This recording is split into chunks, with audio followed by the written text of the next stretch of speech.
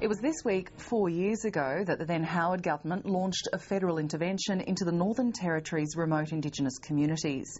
The intervention was in response to the Little Children Are Sacred report outlining rivers of grog and abuse in remote Indigenous communities. The former Prime Minister John Howard claimed it a national emergency and implemented a raft of quickly drafted policies that were brought in under bipartisan support. Northern Territory MLA Marion Scrymgour is one of the few politicians who spoke out against the intervention. Marion Scrymgour joins us now. Marion Scrymgour, welcome to the program. Thank you, Laetitia. The intervention has never sat well with you. Four years on, how have your feelings changed? I've always had reservations, but I've also um, looked at some of the the, initiatives and programs that have flowed in, into these communities. Um, when you look at, you know, the, the policing, the education, all of those programs that have gone into those communities, you, we didn't need an intervention to do that. They are, they are programs and resources that should have been available to those communities. The federal Labor government inherited the policy and modified it. They've, they say they've removed discriminatory elements of the intervention. But are there still discriminatory aspects?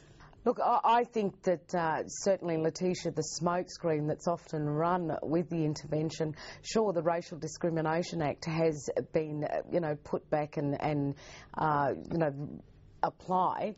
Uh, what isn't happening is, the, is the, the federal government's not actually complying with the Racial Discrimination Act. And there are several things that, that happen uh, in relation to Aboriginal communities that doesn't happen anywhere else in mainstream Australia, which still makes it discriminatory.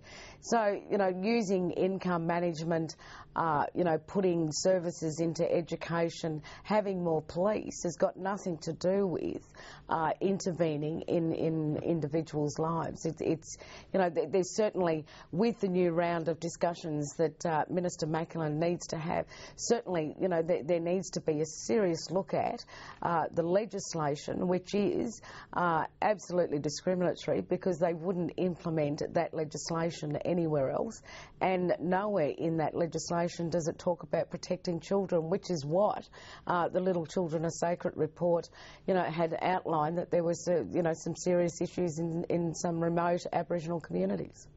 What's been the impact of that level of discrimination on the ground in communities, particularly on individuals?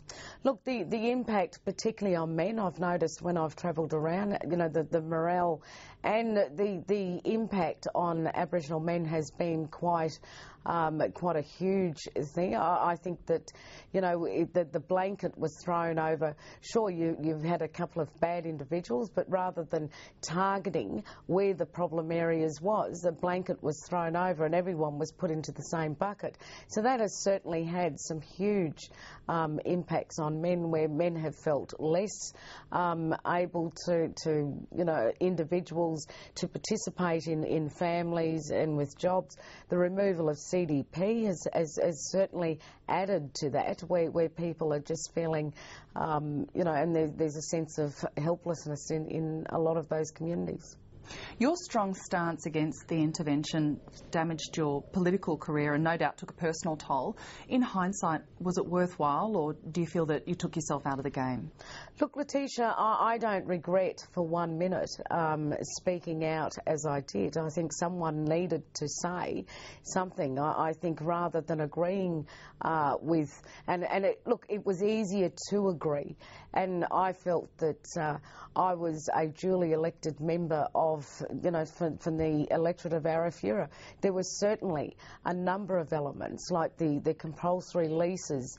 Um, you know, when, when you have a look at that legislation and you have a look at uh, the role of government business managers, when Aboriginal people have a meeting, they, they can't conduct those meetings without having um, a Commonwealth agent in those meetings. There are, there are a number of, of elements of the NTER which were absolutely, um, you know, just discriminatory and, and should never have happened.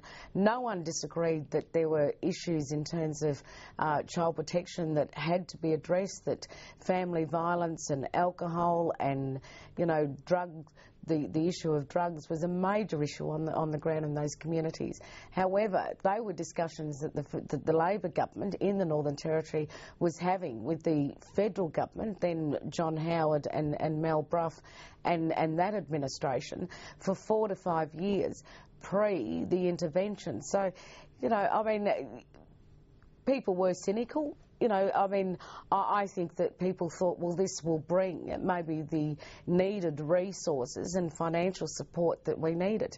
Um, that didn't come rolling for a long time, and if you have a look on the ground in any of those communities, there is a mishmash of programs going on. Some areas it's worked, but in a lot of areas uh, it certainly hasn't uh, produced any better outcomes than what was there pre-intervention. Could the Northern Territory government have averted the intervention had it had a, a, quicker response to the Little Children Are Sacred report, or was the Howard government always coming after you? No, look, I, I think that, uh, that, it was always going to be used as a political football, and, and that's the unfortunate thing because I think that there, there could have been a lot of good. I, I, think if that cooperation and working together, I think that there could have been a lot of gains. The Prime Minister Julia Gillard has said that the intervention has been successful, particularly in making children safer. Is that really the case? I think both Jenny Macklin and, and also the, the, our present Prime Minister, I think that what they need to do is stop listening to one or two commentators who reflect that view and actually get into a few more communities and sit down with people and listen to what people are saying. We all want to protect children. We need the housing, you know, the, the housing money needs to continue. We need support for homelands so that, you know, the, the, the main community isn't going to have, you know, the overcrowding that is occurring in a lot of the communities because the federal government stops the, you know, stops the, the money that, that goes to homelands and outstations. There, there needs to be an honest, open dialogue in relation to this rather than people's views whilst they don't agree with, with, federal ministers, their voices are also silenced. Marion Scrymgour, thank you for joining us. Thank you, Laetitia.